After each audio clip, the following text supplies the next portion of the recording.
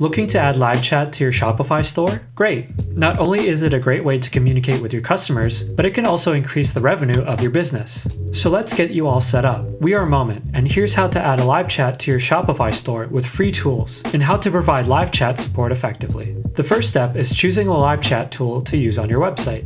As you may already know, there are many live chat solutions in the market. As a result, you will have to take inventory of your business needs and what features you require from a live chat tool to meet those needs. For this tutorial, we will use Moment, a fully featured live chat tool with CRM and session recording integrations. The best part is you can get access to all these features while using the free plan on Moment. First, you will have to create a Moment account. You can do so through the link in the description or through momentcrm.com. Once you've done this, you will have to create a team and choose a team color. We recommend using your company name as your team name and using a color that best represents your brand. You will then be asked if you want to invite other team members to join your team. After setting up your Moment account, you will be provided with a Moment code snippet. The last step of this process will be installing this code snippet on your Shopify website. Do this by following these steps. Go to your Shopify admin panel, go to Online Store, and then to Themes. Find the theme that you're currently using, click on Actions, and then Edit Code.